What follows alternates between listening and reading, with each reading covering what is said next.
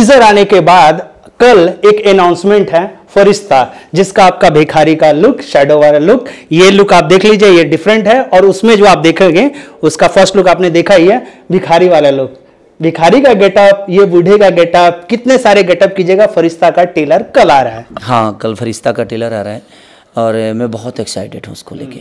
Reason की फरिश्ता movie मैं पंद्रह दिन तक ऐसे ही रहा। मैं सिनेमा खत्म होने के बाद भी मेरी आदतों में ऐसे ही सही था। मुझे लग रहा है पे कंधा ये वाला ठीठो थोड़ा सा नहीं मैं पंद्रह दिन तक घर में भी कोई कोई बात हाँ वो ऐसे हो रहा था मेरे साथ।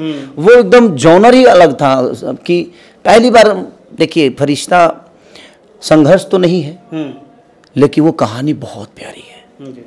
उसमें एक्ट बहुत प्यारा है। हम्म, एक नॉर्मल आदमी पागल का रोल करना आप समझ सकते हैं। हम्म, वो भिखारी नहीं है वो पागल है। जी।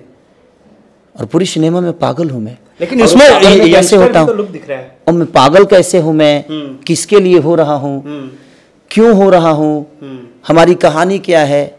और वो पागलपंती ज़रूरी है कि नहीं ज़रूरी है। इस दुनिया में जब तक आप पागल नहीं बनिएगा तब तक दुनिया का प्यार नहीं पाइएगा। अब कोई ज़रूरी नहीं कि पागल बन के किसी का सर फोड़ देना है। नहीं। पागलपंती आपके काम में आपके रिलेशन में वो पागलपंती होना चाहिए वो पैसन होना चाहिए वो पागलपंती नहीं है। वो पैसन है। और पैसन ही आपको बड़ा करता है। आप किसी भी काम को इतना इजीली मत लीजिए उसको सीरियस लीजिएगा तो उसको बेहतर कर पाइएगा। और मेरे जीवन में ऐसा ही है फरिश्ता मेरे दिल के करीब का सिनेमा है। मैं उसको जिया हूँ। पंद्रह बीस दिन तक समझिए कि जब तक मुझे पागल बनना था तब तक मैं नहाया ही नहीं था। मैं उसी बाल के साथ ऐसा ही गंदगी में सोता था। मैं नीचे सोता था मैं बिस्तर पे नहीं सोता था। क्योंकि मुझे उसमें घुसना था और नहाता नहीं था मैं अपना हाथ तक नहीं धोता था। लड़का मेरा इंदर मुझे खाना खिलाता था। ऐसी स्थिति थी मेरी उसमें। और कोशिश थी कि नहीं बेहतर किया जाए इसको। तो जब तक वो सीन था हाँ जब मैं नॉर्मल हुआ तो उसमें अलग हिसाब किताब था। लेकिन जब तक वो पागल वाला करेक्टर था तब तक मैं नहाया नहीं था तब तक मैं।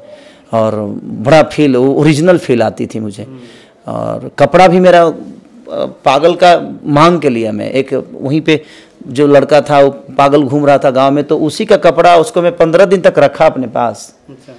उसकी एक्टिविटी देखने के लिए उसकी एक्टिविटी के साथ में रहा और एक अलग लेवल के सिनेमा है वो। मतलब कहने का मतलब ये है कि जिस कैरेक्टर में खेसारी लाल यादव को ढलना होता है उसी कैरेक्टर को पकड़ के बगल में बिठाते हैं और उसी से उस चीज़ को सीखते हैं। हाँ वही करता हूँ मैं। मैं क्योंकि वो ज़्यादा इजीली हो जाता है। किसी को अपने देख अब एक नॉर्मल आदमी को पागल की तरह एक्टिंग करना सर कितना टॉप जॉब है। जी। अब मुझे डायलॉग आता है लेकिन मुझे डायलॉग को ऐसे नहीं बोलना है उसको उल्टा बोलना है। तो फिर टॉप तो हो ही जाएगा ना। तो वो सारी चीज़ें और फरिश्ते बहुत खूबसूरत फ़िल्म है। वो एक कहानी है।